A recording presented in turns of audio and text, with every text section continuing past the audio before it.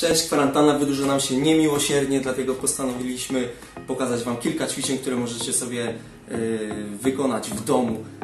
Ćwiczenia są pomyślane tak, żeby każdy mógł je wykonać bez użycia sprzętu. Ja używam to, co znalazłem u siebie w domu.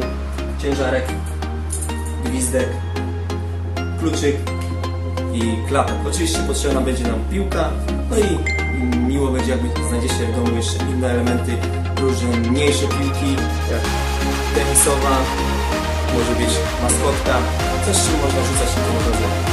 Ustawiamy nasze przybór pana, odcieniamy kratę, kluczyk,